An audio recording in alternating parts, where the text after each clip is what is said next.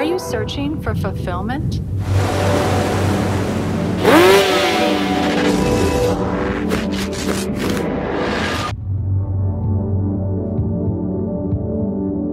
Discover true happiness.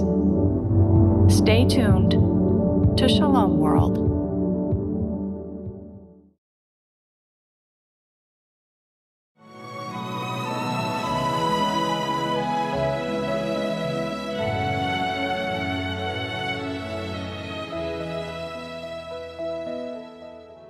Hello, my name is George Stack and I'm the Archbishop of Cardiff, which is the capital city of Wales in the United Kingdom. I wish you a very warm welcome to St David's Cathedral here in the centre of Cardiff. The meaning of Christmas? Well, there are so many meanings of Christmas. The incarnation of Jesus Christ, the revelation of God in history, in the life of Jesus the ministry of Jesus, the service of Jesus, and his passion, death, and resurrection. And you'll hear again in the service today that as we worship the Christ child in the wood of the crib, we need first of all to have worshipped him on the wood of the cross. The resurrection of Jesus following his death is at the heart of the salvation history in which we share. Many of the titles that we give Jesus come alive at this time of the year.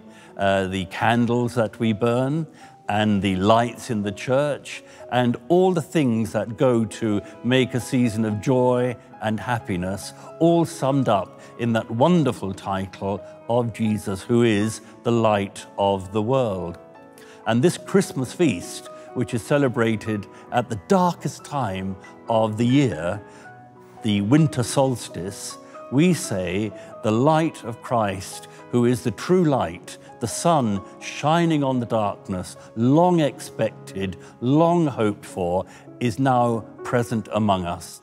And it's the task of all of us who believe in the revelation of God, in the incarnation of Jesus Christ, in his passion, death, and resurrection. It's our job to reflect that light to the world in which we live and the people among whom we move. So I wish you all a very happy, holy, and peaceful Christmas. God bless you all.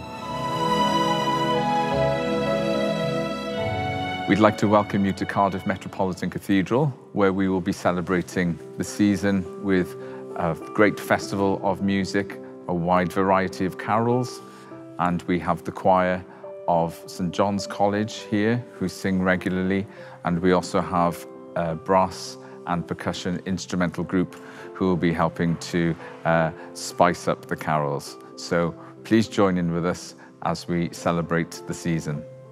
In the cathedral with us today, we have uh, five-part brass, two trumpets, a horn, trombone and a tuba, and then also some percussion, cymbals and timpani, and then a special piece uh, will be accompanied by harp.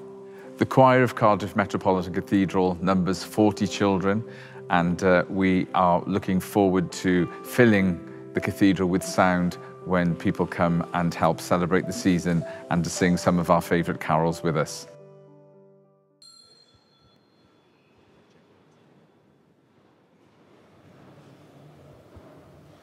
Once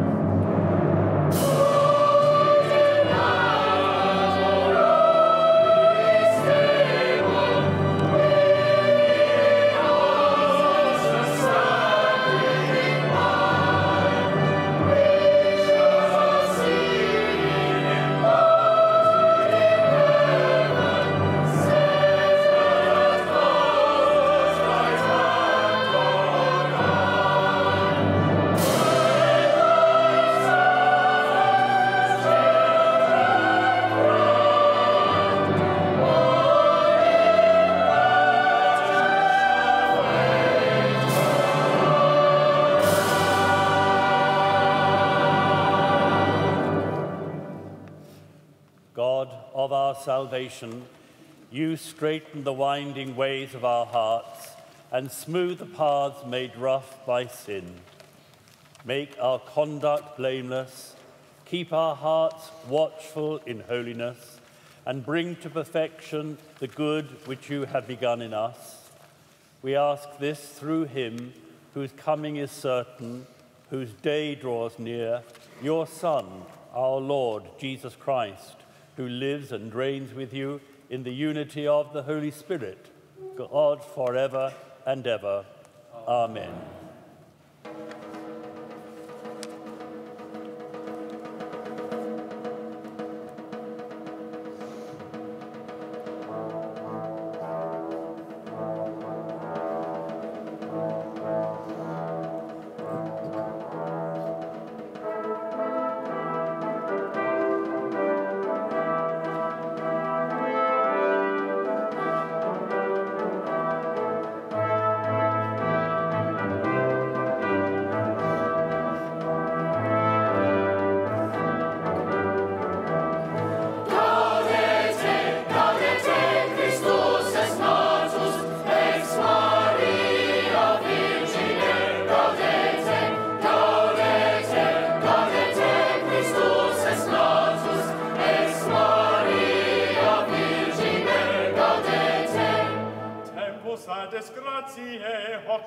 cantabamus, Carmine Letitiae devotere damus. Gaudete!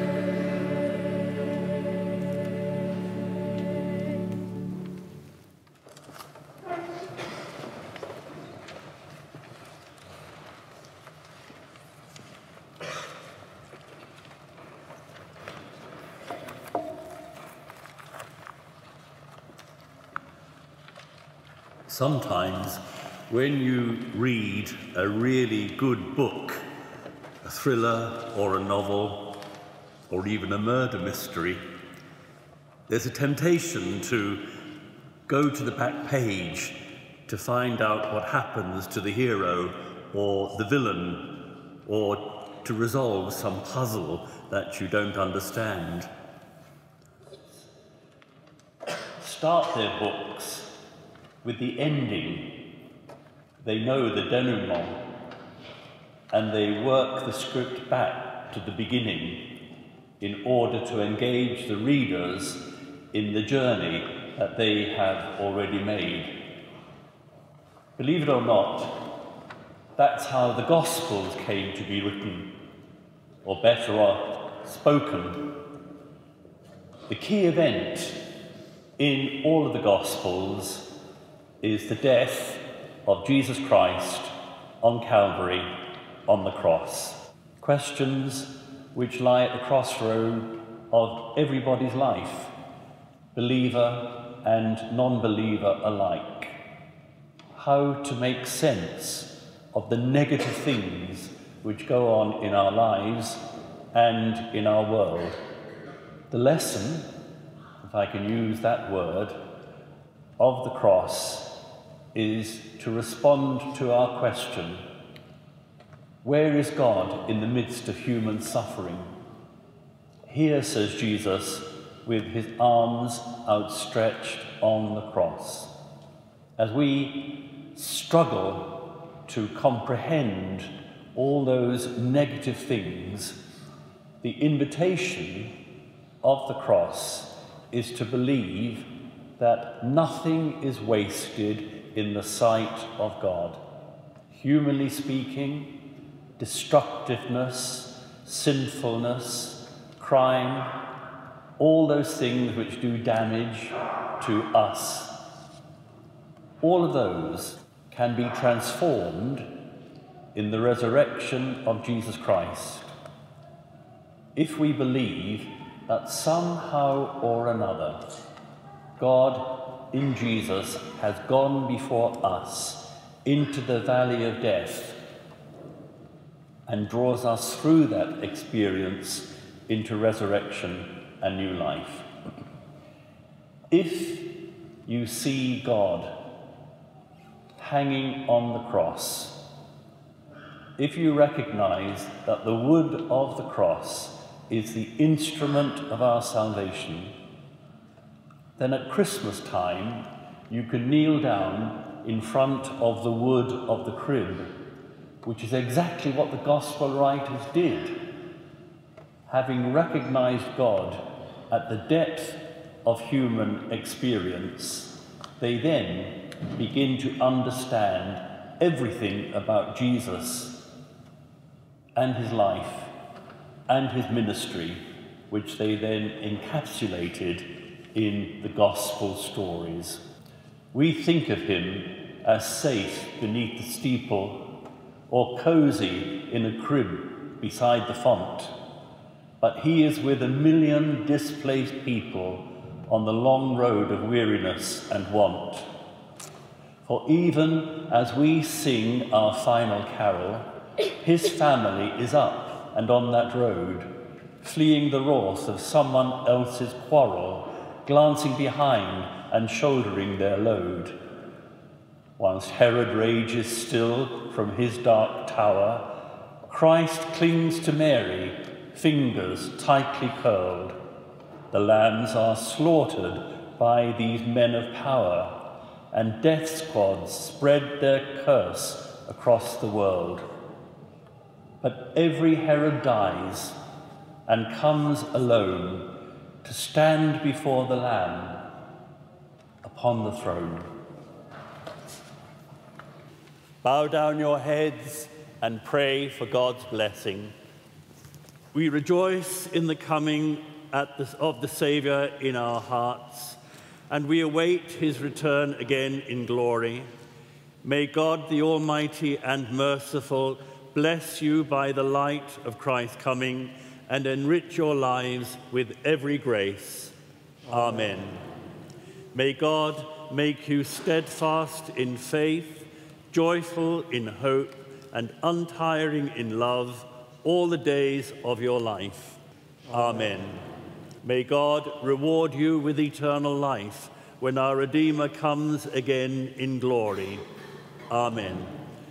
And may the blessing of Almighty God, the Father, and the Son, and the Holy Spirit come down upon you this Christmas and forevermore. Amen. Lord,